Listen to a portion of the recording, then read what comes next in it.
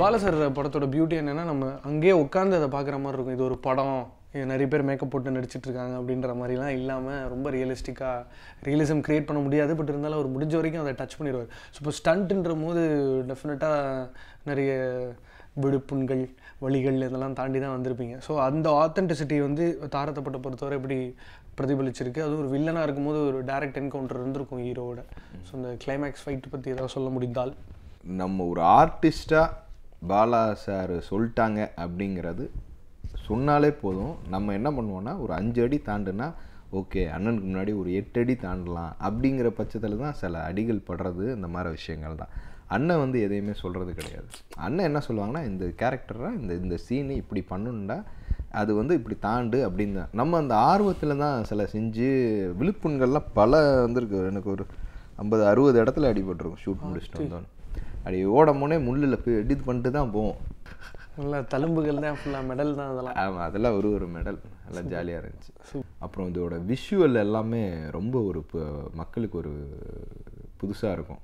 ஏன்னா அந்த அப்படியே வந்து அந்த லைஃப் ஸ்டைல் அப்படியே காமிச்சிருப்பாங்க. இது வந்து செலியன் சார் ரொம்ப நல்லா பண்ணியிருக்காங்க.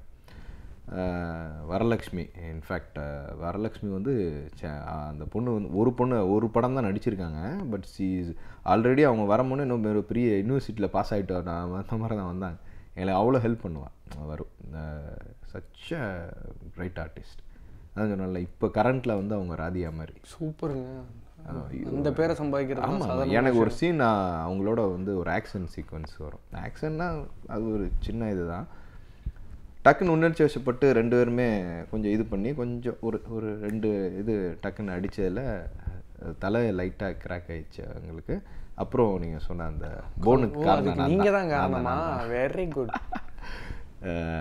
ஸோ அந்த அது முடிச்சுட்டு அவங்க அதெல்லாம் எதுவுமே கேர் பண்ணலை. அதுக்கப்புறம் தான் அண்ணன் வந்து மாலை செயின் போட்டாங்க.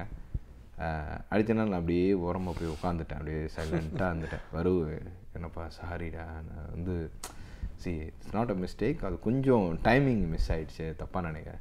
"ஆ, அதான்டா வேணும் எனக்கு. அதுதான் ரியாலிட்டி சொன்னோடனே அப்படியே ரெண்டு நிமிஷம் இல்லை அதான் ரியாலிட்டி எப்படி வந்திருக்கு பாரு மானிட்டரில். அவ்வளோ சூப்பராக வந்திருக்கு.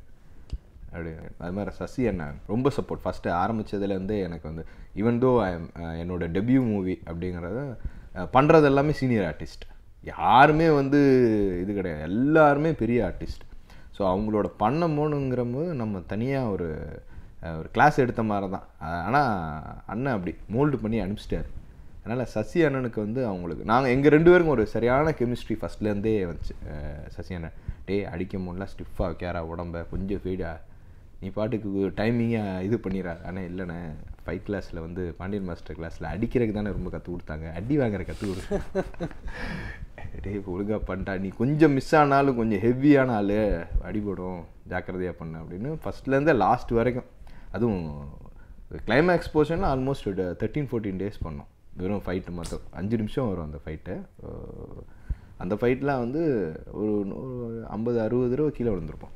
இப்போ நீங்கள் கரகாட்டம்னு சொல்லும் போதே நீங்கள் கிராமத்தாளுன்றது அப்பத்தமாக அழகாக தெரியுது. இப்போ நம்ம செட்டியாள்னா கரகாட்டம் அப்படின்னுவாங்க. நம்ம ஊருக்காரையை தான் கெரகாட்டம் அப்படின்னு சொல்லுவாங்க.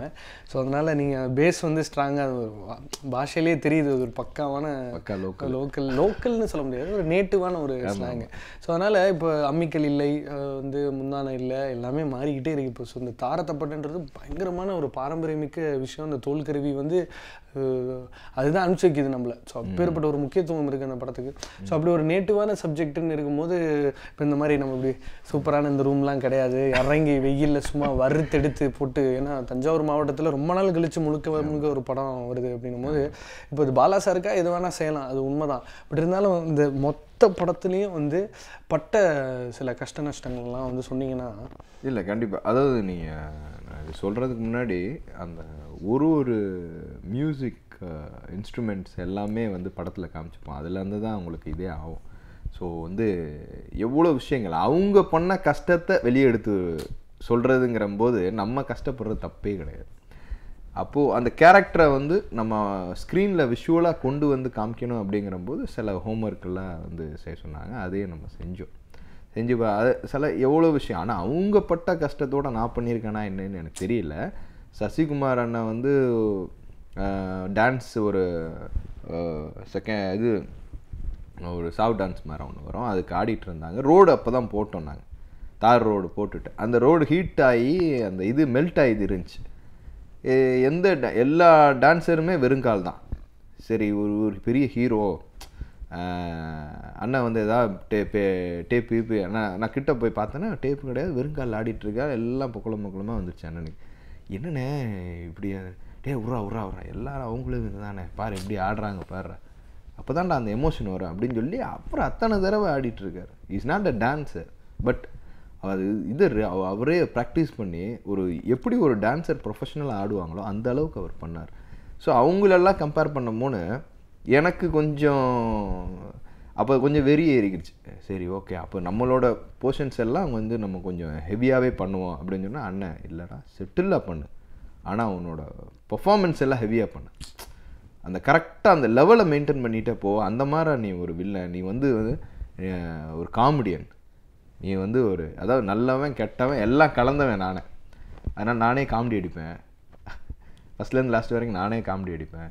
நானே எல்லா விஷயமும் பண்ணுவேன் படத்தில். ஒரு பெக்யூலியராக இருக்கும் ஒரு வில்லன் கேரக்டர் முத படம் இப்படி ஒரு தீனி வந்து ஆமாம் ஆமாம் ஸோ இதுக்கு அடுத்து வந்து நிறைய படங்கள் தயாரிக்கிற அந்த ஒரு அது ஒரு பைப்லைனில் இருக்கும். இப்போ நடிப்பும் ஒரு பைப்லைனில் இருக்கும். ரெண்டு ஸ்கெட்ச் போட்டிங்க இப்போது சூப்பர் ஒரு கதாநாயகனாக ஆகணுன்றது ஆசைன்றதை தாண்டி என்னை பொறுத்த வரைக்கும் அது நடக்கணும். தானாக நடக்கணும். பட் அதுக்கான ஒரு ரூட் இருக்கா? இல்லை ஏதாவது யோசனை? இல்லை ஃபஸ்ட்டு ஒரு பெரிய விஷயமே ஒரு படம் ரிலீஸ் ஃபோர்டீன்த் ஆகுது. அஹ், அதுக்கு முன்னாடியே எனக்கு Muthaiya sir Muthaiya director Muthaiya sir வந்து இதில் மருதுல கமிட் பண்ணிட்டாங்க. சார் ஹீரோ பண்ணுறாரு ஸோ இப்போ இந்த தாடி அந்த படத்துக்கு ஆமாம் இந்த இந்த தாடி அந்த இருட்டில் தேடணும் போல பயங்கரமா இருக்கு. ஒருத்தருக்கு இம்பிட்டு வளருதுன்றதே வந்து ஆச்சரியம் தான். கொஞ்சம் கொடுப்பனம் தான். ஆமாம் ஸோ அந்த படம் ஆல்மோஸ்ட் ஒரு ஃபார்ட்டி பர்சன்ட் கிட்ட ஓவர் ஆயிடுச்சு இந்த என்னோட போர்ஷன்ஸு ஸோ இப்படி ஒரு ஆப்பர்ச்சுனிட்டி கிடச்சதே ரொம்ப பெரிய விஷயம். அது பிகாஸ் ஆஃப் பாலா சார் படத்தில் வெளியே வந்தனால தான். இன்னொன்று சசி அண்ணனும் சொல்லியிருப்பாங்க போல. பண்ணுறான் என்னமோ ஆள் ஆளு கொஞ்சம் கரெக்டாக முரடாக பண்ணுவா. பார்த்துக்கங்கடா ஸோ அப்போ அப்படி இதாச்சு. ஸோ மீன் வயல் அங்கே ட்ராவல் ஆகி ஒரு செக்டரை போகும்போது நடுவில் விஜய் நான் டப்பிங் பேசிகிட்டு இருக்கும்போது விஜய் சேதுபதி நானும் பேசி பேசிட்டு அதுக்கப்புறம் மச்சான் இதை பண்ணலாம் அப்படின்னு சொல்லி பிளான் பண்ணி தர்மதுரையை ஸ்டார்ட் பண்ணோம். அந்த ஷூட் அப்போ ஒரு ரெண்டு தடவை நான் போயிருந்தேன். அப்போது ராதியா மேடம்லாம் பர்ஃபார்மன்ஸ் பண்ணுறதெல்லாம் முதல்ல நான் பார்க்குறதுக்கும் இப்போது நான் ஒரு ஆக்டர் ஆகிட்டு அவங்க பர்ஃபார்மன்ஸ் பார்க்குறது ரொம்ப ரொம்ப பிரமிப்பாக இருக்குது அது விஜய் சேதுபதிலாம் அப்படி அசால்ட்டு பா என்ன ஒரு பெர்ஃபார்மரு அவங்க ஒரு ஒரு சைடு ராதியா மேடம் இவரும். ரெண்டு பேரும் வந்து அதாவது சிங்கிள் டேக் பண்ணுறதுங்கிறது ஒரு இது இல்லை டக்குன்னு இது. ஆனால் அந்த அப்படியே அவங்களுக்கு உயிரை கொடுக்குறாங்க. அந்த கேரக்டருக்கு அப்படியே கேரக்டராக மாறிடுறாங்க. ஸோ அந்த ஸ்டேஜஸ் என்ன தான் ப்ரொடியூசர் அதை இதெல்லாம் ஓரம் வச்சுட்டு டேய் நான் நடிகன் கொஞ்சம் கொஞ்சம் கொஞ்சம் அப்படி பியூ சொல்லி கொடுங்க ஆமாம் ஆமாம் ஸோ அதெல்லாம் வந்து ஒரு நல்ல விஷயம். என்னன்னா இந்த வில்லன் வந்து எப்படி ஒர்க் அவுட் ஆகுதுன்னா ஹெல்மெட் வெளியில பல பேர் உங்களை பார்க்க மாட்டாங்க. லிஃப்ட்ல வந்து டேனியல் பாலாஜி வருவாராம். ஐயோ இவரோட நான் ஏற மாட்டேன் அப்படின்றோம். அதுதான் உண்மையான ஒரு ஸோ பல பேர் உங்களை வெறுக்க போறாங்க ஆனா அதுக்கு அதோட கொஞ்சம் பெக்யூலியராகவே இருக்கும் சூப்பரா எடுத்து அடிச்சே இப்படி வாங்கின்றீங்களா இல்லை அது சில பேர் ரசிப்பாங்க சில பேர் திட்டுவாங்க. எந்த அளவுக்கு திட்டம் அதாவது சமுத்திரகனி சார் சொன்னாங்க. உன்னைய அப்போ தான் இந்த ர- ர- ரஜினி முருகன் முடிச்சுட்டு போயிட்டு இருந்தப்போ ராஜ்கிரண் சார்கிட்ட வந்து இவன் பயங்கரமாக பண்ணியிருக்கான் நான் படத்தில். அண்ணே பெருசாக வருவானே அப்படின்னு அதான் சொன்னேன். அடியும் வாங்குவான். அடி என்னைக்கு வாங்குறியோ என்னைக்கு திட்டு வாங்குறியோ தேட்டரில் அன்னைக்கு தான்டா உனக்கு உண்மையிலே அவார்டு உண்மையா? எங்கேயோ ராதாரவி சார் பேர் ஒரு கிராமத்துல அப்படி உட்காந்து ஸ்டார்ட்டுக்கு நடியில கொஞ்சம் தண்ணி கொடுங்கம்மான்னா கொடுக்க மாட்டேன்ட்டாங்களாம். நம்பியார் சார் எனக்கு தண்ணி கிடைக்காதோ? வாய்ப்பு தண்ணியா? தெரிஞ்சு மறந்துருங்க மொத்தமா உண்ணாவிரதம் தான். எம்ம நம்பியார் சார் அவர்களெல்லாம் கல்ல விட்டுலாம் அடிச்சிருக்காங்களாம். ஆனா நிஜமா வந்து நான் ஏற்கனவே அப்ப சொன்ன மாதிரி தான் ஒரு வில்லனா நடிக்கிறவங்க வந்து நிஜ வாழ்க்கையில பார்த்தீங்கன்னா பயங்கர கம்போஸ்டா பயங்கர சொஃபஸ்டிகேட்டடா அசோகன் சாரா இருக்கட்டும் நம்பியார் சார் வந்து சபரிமலையில அவருக்கு தனியா ஒரு மண்டபமே இருக்கு. ஸோ இப்படி இந்த வில்லனா நட்சத்திர நடிச்சுக்கணும்னு வச்சுக்கோங்க வில்லனா வந்து பல விஷயங்களை நீங்கள் ஆக்டிங்கில் கொண்டு வரலாம். ஹீரோவும் கொண்டு வராங்க கண்டிப்பாக பட் பல விஷயங்கள் வந்து ஒரு நெகட்டிவ் ஹீரோ பண்ணும்போது நம்மளுக்கு ஒரு ஓப்பன் பிளே கிரவுண்ட் மாதிரி இருக்கும் அதை பண்ணலாம் இதை பண்ணலாம் செட்டிலாக பண்ணலாம் ஹையராக பண்ணலாம் சைலண்ட்டாக பண்ணலாம் எவ்வளோ விஷயங்கள் பண்ணலாம் அந்த வில்லனிக்கு இதில். ஒரு படம் தோத்தாலும் வில்லன் ஜெயிக்கிற வாய்ப்புகள் நிறைய இருக்கு. அது வந்து நிறைய பேருக்கு அது அமைஞ்சிருக்கு. தாரத்தைப்பட்டி ஒரு வெற்றி திரைப்படமா அமைஞ்சு இப்படி ஒரு ஓப்பனிங் வந்து யாருக்கும் கிடைச்சிருக்க கூடாதுன்ற மாதிரி பல பேர் வந்து ஆஹா இப்படிப்பட்ட ஒரு படம் அமைஞ்சிருச்சு அப்படின்னு சந்தோஷப்படணும். வாழ்த்துக்கள் குமியட்டும். ஃபோன் ஹேங் ஆகட்டும். அடுத்த ஒரு நாலு படம் ரிலீஸ் ஆனதுக்கப்புறம் நாலு நாள் பேசிக்கிட்டே இருங்க. Thank you so much thank you Pongal வாழ்த்துக்கள். அன்பான பிகேன் ஹுட் நேர்கள் அனைவருக்கும் என் இனிய பொங்கல் நல்வாழ்த்துக்கள். How about giving you a Tamil name if you can? Please, you give me a Tamil name. How about Kayal Viri? Kyle Berry? Kayal Viri means Kayal like the beautiful eyes. Okay. Wow, I'll fine. take it. That's Thank fine. you.